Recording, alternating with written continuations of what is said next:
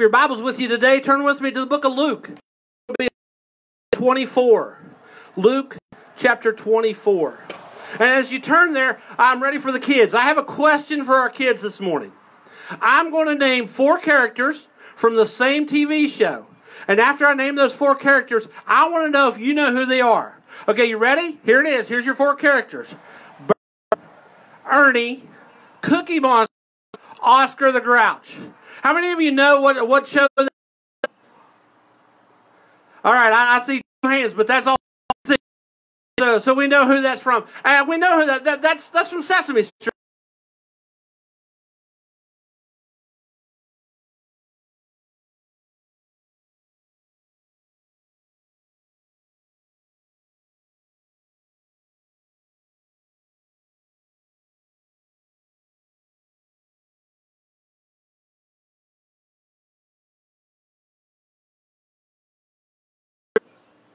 Okay, not as many as did do who Bert and Ernie was and and monster. But uh, Mr. Hooper was on Sesame Street for 13 years.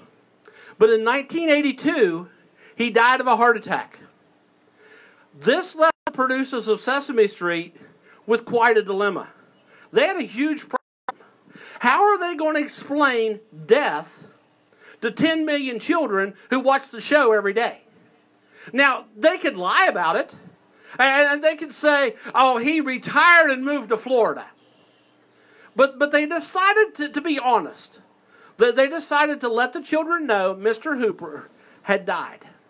Uh, so, in, in, telling them the truth, you know, being public broadcasting, they, they couldn't say anything religious. It couldn't be anything spiritual. So they couldn't say anything about Jesus. They, they, they definitely didn't want to say anything about heaven. So the, what they decided to do was on the day of the show, Big Bird walks out, and Big Bird has a drawing. And he says he wants to give it to Mr. Hooper. And he says, I can't wait to see Mr. Hooper again. Then they said, Remember, Big Bird, we told you Mr. Hooper died. Big Bird goes, Oh, yeah, I forgot.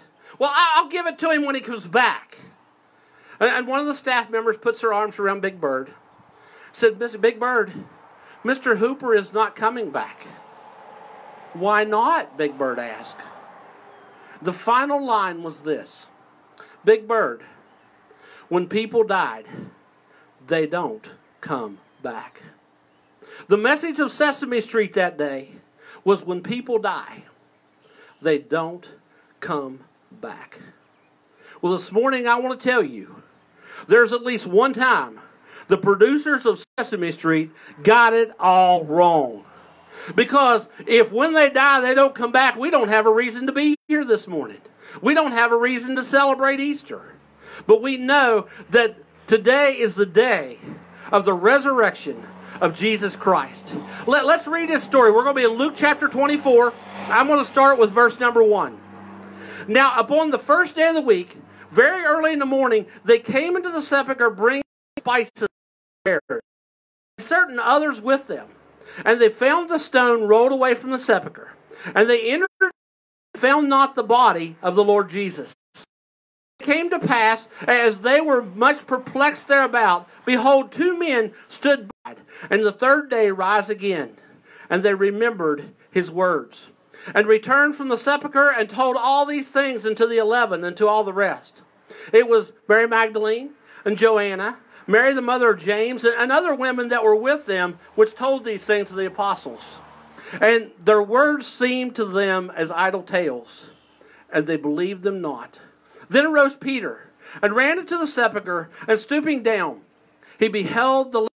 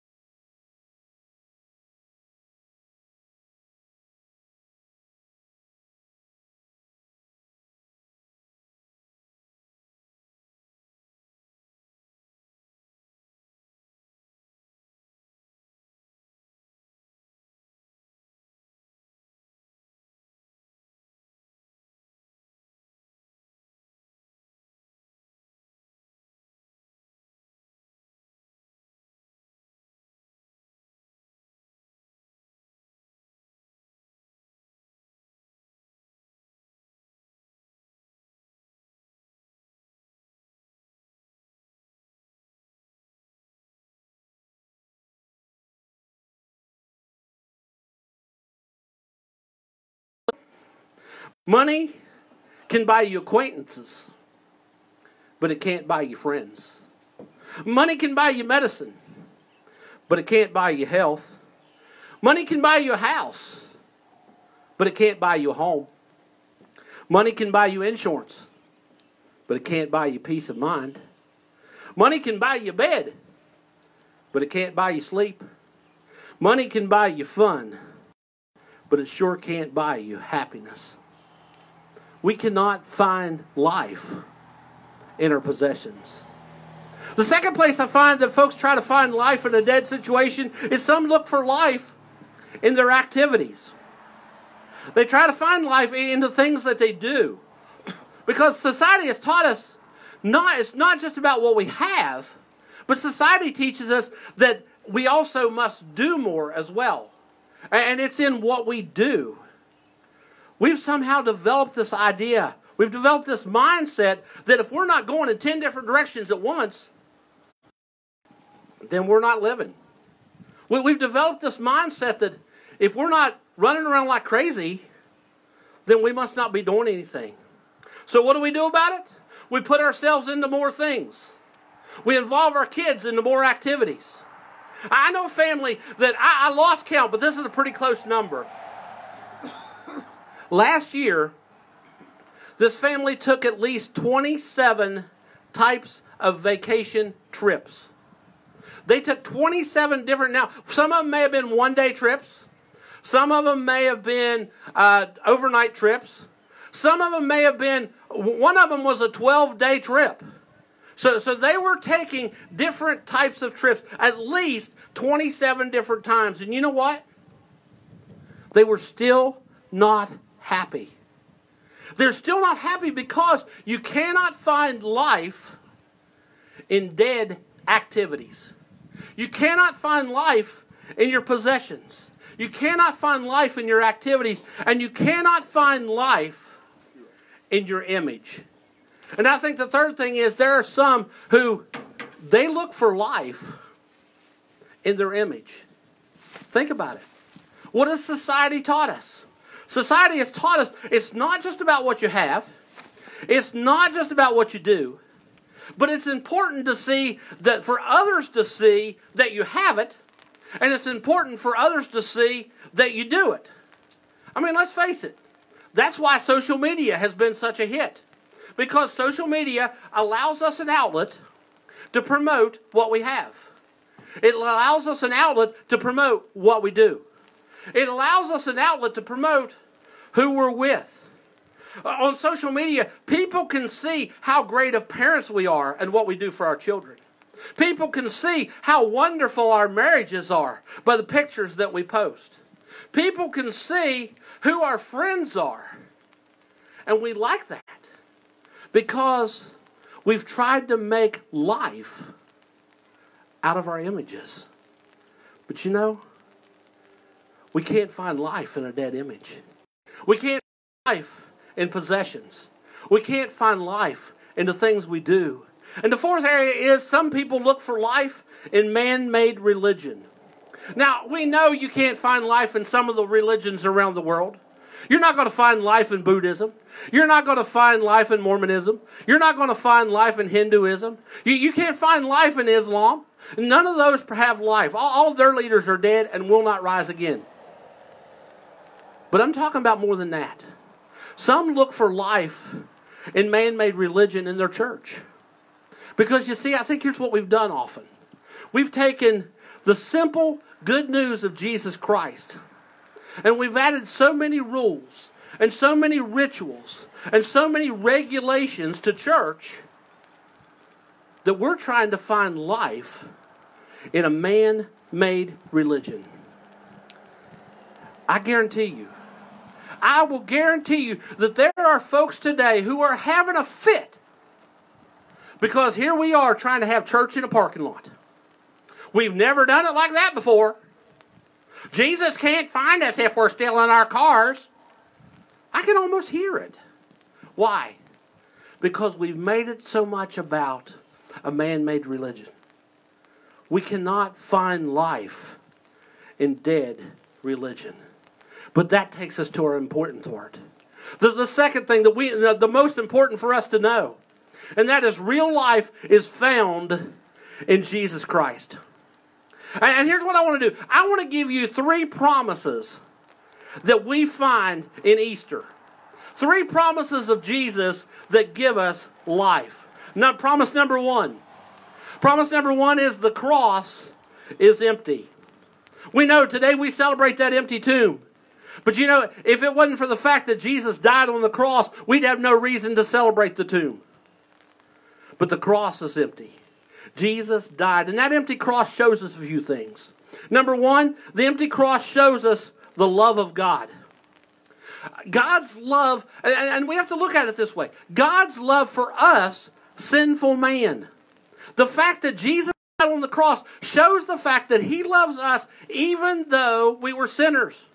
Now, I, realize there's probably some folks right here that they don't think they're a sinner. But the Bible tells us we've all sinned, we've all fallen short of the God's glory. We are all sinners. And Bible also tells us there's a price for that sin. Romans 6:23 says the wages, the price for sin is death. We all because of sin we must die. There's a price. But we ask ourselves, why did Christ go to the cross? Why did Christ die? Because he never sinned. Throughout Scripture, we find Christ never sinned. So we ask, why did he go to the cross? He didn't go for himself, he went for us. He went to the cross not to pay the price for his sin debt, he didn't have any. He went to the cross to pay the price for your sin debt, for my sin debt for the sin debt of, of all the world because God wanted to have eternal fellowship with us. He sent his one and only Son to die for the sins of man. The empty cross shows that. The second thing the empty cross shows is the empty cross shows the sacrifice for sin. I want to take you for a brief journey back about 12, 12 hours into the life of Jesus before he died on the cross. He was arrested. We know how he was praying in the Garden of Gethsemane and, and they came there and arrested him. They, they took him back. Jesus had to endure four different trials as we look through Scripture. We mourned. We know that he was beaten with rods. Christ was mocked. Well, we know that, that he was taken to the cross. We know that before that he was beaten to the point of died from the scourgings. When he was taken to the cross, to the beams of that cross. You imagine five inch, five and a half inch spikes going through his wrist, through his hand to nail him there. But and we know from that when that happens that suffocation the fluids build up and then it suffocates the body, and, and, and actually, very quickly, they'll die. But the Romans were very cruel in their death. They not only nailed the hands to the cross, which would be a fairly quick death, they would nail the feet as well. You ever wonder why they nailed his feet? He wasn't going anywhere. They did it to make him suffer longer. It's believed that as they did, they would actually bend the legs a little bit. So that in that will to live that we all have, that will for life, just to push up, just to try to get another breath. Sometimes they say a body can hang on that cross for up to three days, suffering in pain and agony before they actually died. Jesus willingly took the cross. Our Bible says at any moment he could have called legions of angels to take him down, but he died there. The Romans didn't take his life. He willingly gave his life. Why did Jesus die? He died for sin. And that's the third thing we see from the empty cross. The empty cross is for the forgiveness of sin. Jesus died for our sin. Remember, not his. God wanted to have fellowship with us. But that couldn't happen because our sin separated us from God. Because of our sin, God couldn't have us as, as sinful men into his perfect heaven. He couldn't have that relationship that he wanted. So the price had to be paid. We've already looked at what's the price? It's death. Someone had to die for our sin. Now, folks, we can choose to die for our own sin. We can choose to pay our price. But because we're sinners, when we pay that price, that is the end. That is the second death. There will be no more. But God sent His Son to pay that price. And the empty cross shows the forgiveness of our sins. The first promise of Easter is the empty cross. The second promise of Easter is the empty tomb. And I want us to look real quick at the empty tomb because this morning we celebrate that empty tomb. Early in the morning, it says the women went and they found the tomb empty. Now, did they expect the tomb to be empty? No. We know that because they took spices for the body. If they expected an empty tomb, they wasn't going to go spend their money on those spices. They were just going to go see the empty tomb. They expected to find a body in that tomb. Remember the conversation? How are we going to get the stone out of the way? This was a huge stone, kind of like what we would think of a millstone, put in a groove so that it couldn't be moved. We know even better that they were sealed and guarded. They wanted to get that thing out of the way. They didn't know how. But when they got there, the stone was removed. And they found the tomb empty. And that shows us something else the empty tomb represents. The empty tomb represents payment in full. Christ paid the price for our sins when he died for them. When, when Jesus died on the cross, he paid the price for our sins. One of the last phrases that Jesus uttered from the cross was the term tetelestai. Now we know that's not a term that we use often, but we use what it means. The price means paid in full. It would be a banker's term. It would be one that if you owed money, when you made that last payment and you owed nothing else, they would stamp your note to tetelestai, paid in full. And when Jesus died on the cross, he paid our price in full. No one would ever have to die again for our sin. No one would ever have to pay that price again. How do we know that God accepted the payment? Because the tomb was empty. Christ had defeated death. Christ had defeated all the powers of Satan. Christ had overcome death, hell, and the grave. And the empty tomb shows us the payment was not only enough, it was accepted by God. And that takes us to the third thing the empty tomb represents. The empty tomb represents eternal life. Many times on what we might call a normal Easter Sunday, either Pastor Nathan or myself with the kids using what we call the resurrection eggs. And it's a dozen little plastic eggs, and, and in each side of each egg, that there's something that tells the story of Jesus. Maybe it's a little crown of thorns. Maybe it's a nail. Maybe it's a beam for a cross. Maybe it's a cloth like the grave clothes they laid him in. The little stone to represent the stone in front of, of the tomb.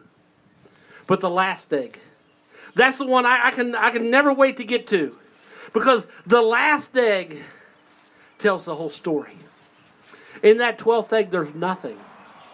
It's empty, because this morning we know there was an empty tomb. The second promise of Easter is an empty tomb. But I want to give you the third promise that Christ gives us of Easter. The, the third promise that, that we can know that, that, that Jesus is alive. And that's the promise of the empty grave clothes. The, the promise of the fact that the grave clothes was still there. When they entered the tomb, they, they saw that the clothes, that, the cloth that Jesus had been wrapped in, was laying there. Now, that's important.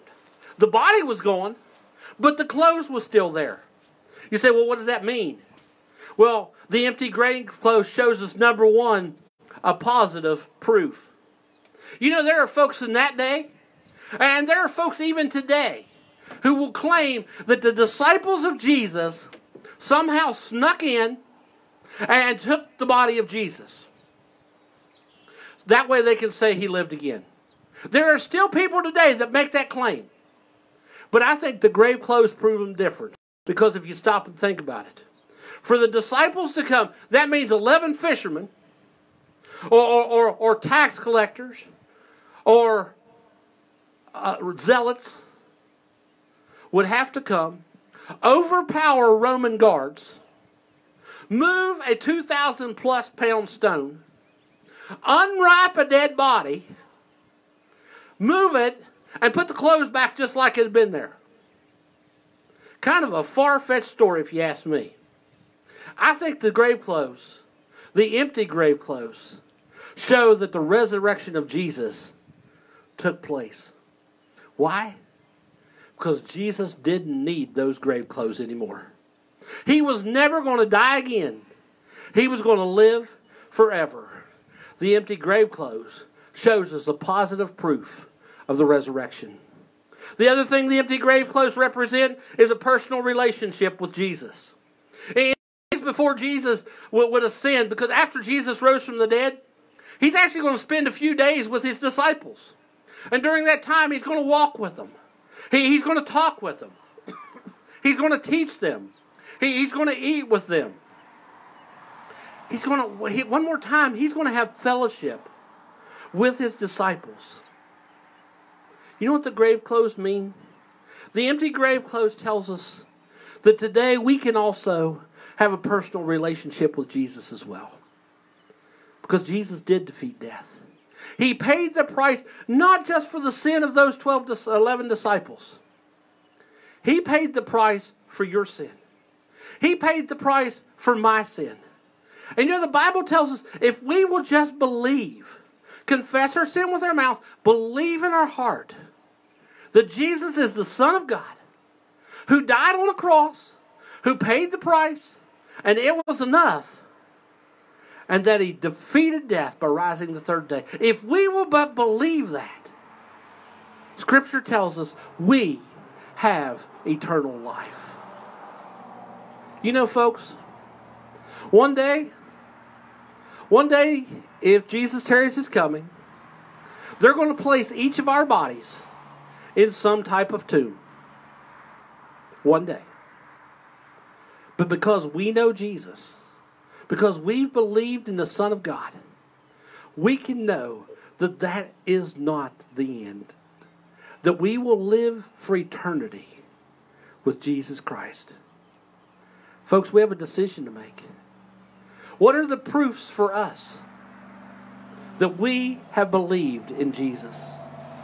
I tell you, folks, I meet a lot of folks that if I'll ask them, do you believe that Jesus is the Son of God? They'll say yes. Do you believe he died on the cross? Yes. Do you believe he rose the third day? Yes. But we lack one thing. Because see, the Bible tells us the wages of sin is death, but the gift of God is eternal life. And just like any gift, we can pay the price for it. We can wrap it up in ribbon and bows. We can take it and hand it out to someone. But until they receive it to themselves, it never becomes theirs. Just the fact that Jesus died for your sins doesn't make it automatic. The fact that he rose from the dead doesn't mean that without believing you have a home in eternity. You, each and every person, needs to accept that gift, that gift of eternal life that he gives for yourself. How do you do that? You do it simply by praying. Maybe pray something like this Dear Lord Jesus, I'm a sinner. And I know I can't save myself.